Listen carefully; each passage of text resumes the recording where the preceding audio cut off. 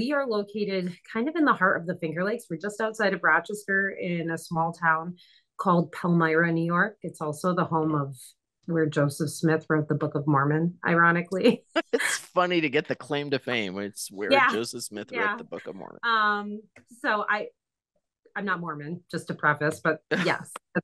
okay. But yeah, yeah. Um, we were we um a fun fact, we, we were uh, we have a flagship building that was built in 1856 and that has the oldest flagpole in New York State.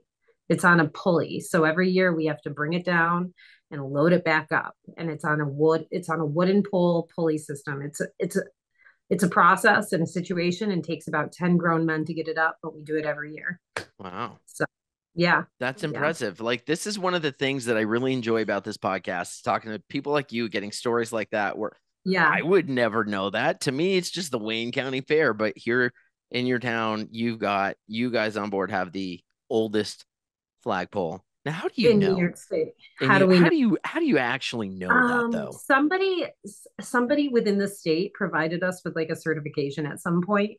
uh, like they they honored it, um, and we recognize it and have been. I mean, until somebody proves us otherwise, I guess we're just going to continue saying it.